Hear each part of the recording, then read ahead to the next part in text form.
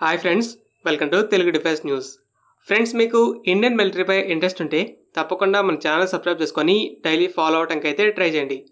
ఇక ఫస్ట్ అప్డేట్లోకి వెళ్తే యునైటెడ్ నేషన్స్ చీఫ్ రష్యా యుక్రెయిన్ల మధ్య ఇక ఈ దరిదాపులో పీస్ టాక్స్ జరపడం కూడా పాసిబుల్ కాదు. ఇప్పుడు రెండు దేశాలు కూడా యుద్ధాన్ని గెలవగలమని నమ్మకంతో ఉన్నాయని చెప్పారు.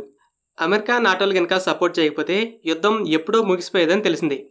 యుద్ధం మొదలై వారం కూడా తిరగకుండానే రష్యన్ ట్యాంక్స్ని ఎదుర్కోవడానికి జావెలిన్ లాంటి యాంటీ ట్యాంక్ మిసైల్స్ ఎయిర్ ఫోర్స్ని ఎదుర్కోవడానికి మ్యాన్ ప్యాడ్స్ని వేల సంఖ్యలో పంపాయి.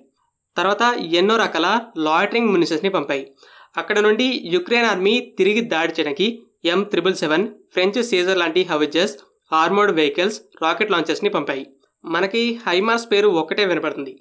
కానీ యుక్రెయిన్ దగ్గర M two seventy Turkey's TRLG two thirty లాంటి ఎన్నో రకాల రాకెట్ లాంచెస్ ఉన్నాయి.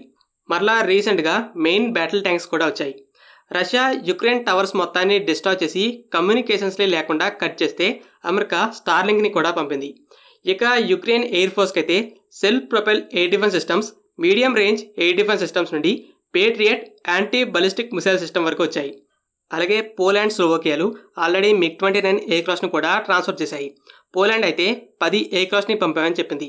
అలాగే యుక్రెయిన్ ఎయిర్ ఫోర్స్కి నాటో ఎవాక్స్ నుండి కూడా సపోర్ట్ ఉంది. ఇక యుక్రెయిన్ నేవీకి కూడా అమెరికన్ ఎయిర్ బోర్న్ ప్లాట్ఫామ్స్ నుండి ఇంటెలిజెన్స్ సపోర్ట్ ఉంది. మాస్కోని డిస్ట్రాయ్ చేయడానికి అమెరికన్ పిఎడ్ ఎయిర్క్రాఫ్టే కారణం. ఇలా అమెరికా చేష్టలతో విసుగు పుట్టే రష్యా బ్లాక్ సీలో రీపర్ని డౌన్ చేసింది. ఇక్కడ ఏంటంటే యుఎస్ నాటలు మొదట చిన్నగా మొదలుపెట్టిన యుక్రెయిన్కి ఆ సపోర్ట్ని పెంచుకుంటూ వస్తున్నాయి. దీనివల్ల మొదట పీస్ టాక్స్ అన్న యుక్రెయిన్ ఇప్పుడు నాటో సపోర్ట్ పెరగటం యుద్ధం మొదలయ్యే సంవత్సరం దాటి రష్యా దగ్గరున్న ఆయుధాల సంఖ్య తగ్గిపోయేసరికి ఇప్పుడు యుద్ధాన్ని గెలవగలం మాకు పీస్ టాక్సే వద్దంటుంది. అలాగే ఈరోజు ఇంకో అప్డేట్ కూడా ఉంది. యూకే త్రీ హండ్రెడ్ కిలోమీటర్స్ రేంజ్తో లాంగ్ రేంజ్ క్రూజ్ మిసైల్స్ని పంపాలని చూస్తుంది. ఇది SCALP మిసైల్లో three hundred kilometres range version అని రిపోర్ట్స్ ఇండికేట్ చేస్తున్నాయి. America HIMARS three hundred kilometres range అటామ్స్ని fight చేయగలిగిన సెవెంటీ కిలోమీటర్స్ రేంజ్ రాకెట్ అలాగే వన్ ఫిఫ్టీ కిలోమీటర్స్ రేంజ్ జిఎల్ఎస్టీబీలనే పంపింది. త్రీ హండ్రెడ్ కిలోమీటర్స్ రేంజ్ మిసైల్ని పంపితే నేరుగా రష్యా భూభాగంపైనే దాడి చేస్తుందని ఇవ్వట్లేదు. అయితే యూకే మాత్రానికి సేమ్ రేంజ్తో ఎయిర్ లాంచ్ క్రూజ్ మిసైల్స్ని ప్రిపేర్ చేస్తుంది. కాబట్టి నాటో ఇప్పుడు యుక్రెయిన్కి డీప్ స్ట్రైక్ వెపన్స్ని కూడా ఇవ్వాలని చూస్తుంది. యుక్రెయిన్ అయితే అటామ్స్ అలాగే ఎఫ్ సిక్స్టీన్ల కోసం బాగా ట్రై చేస్తుంది అమెరికా ఇస్తుందని కాన్ఫిడెంట్గా చెప్తుంది. ఇటువంటి సపోర్ట్ వల్లే మాకు ఇప్పుడు పీస్ టాక్స్ కూడా వద్దు మేము యుద్ధాన్ని గెలవగలమని చెప్తుంది. రష్యా కనుక వెపన్స్ అయిపోయి ఓడిపోయే పరిస్థితి వస్తే యుక్రెయిన్పై టాక్టికల్ న్యూక్లియర్ వెపన్స్ని వాడుతుందని డిఫెన్స్ అనలిస్టులు అంచనా వేస్తున్నారు. అమెరికా కూడా అదే చెప్తుంది. ఇజ్రాయెల్ మరోసారి గాజాలో ఎయిర్ స్ట్రైక్స్ని జరిపింది?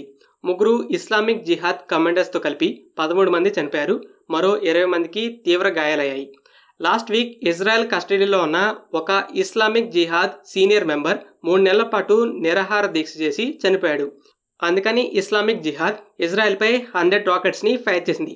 దీంతో ఇజ్రాయెల్ ఈ అటాక్కి రెస్పాన్సిబుల్ అయిన ముగ్గురు కమాండర్స్ ఎవరు? వాళ్ళ నివాస ప్రాంతాలు ఇవన్నీ కనిపెట్టి వాటిపై ఎయిర్ స్ట్రైక్స్ని జరిపింది? వాళ్ళ ఫ్యామిలీ మెంబర్స్ కూడా ఈ దాడుల్లో చనిపోయారు. ఈ ఇస్లామిక్ జిహాద్ అనేది గాజాని రూల్ చేస్తున్న హమాస్ అనే పాలస్తీనియన్ మిలిటెంట్ గ్రూప్ కంటే కొద్దిగా చిన్నది. ఇస్లామిక్ జిహాద్కి ఇరాన్ సపోర్ట్ ఉంది. దీనికి ప్రతీకారం తీర్చుకుంటామని మరలా ఇస్లామిక్ జిహాద్ చెప్పింది. తిరిగి మరలా రాకెట్స్ని ఫైర్ చేస్తుందని అంచనా వేస్తున్నారు. దీంతో ఇజ్రాయెల్ కొన్ని రోజుల యుద్ధానికి ప్రిపేర్ అవుతున్నామని చెప్పింది. ఫ్రెండ్స్ ఈ వీడియో మీకు నచ్చినట్టయితే లైక్ చేయండి.